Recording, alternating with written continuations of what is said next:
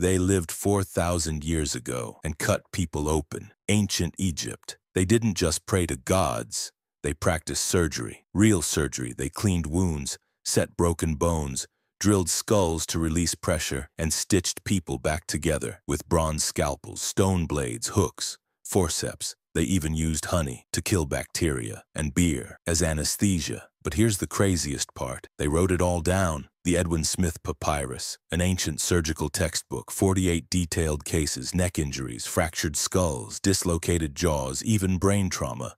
One entry shows a patient with a spinal injury. The doctor checks his pulse, tests his reflexes, then calls the injury untreatable, not with magic, with observation.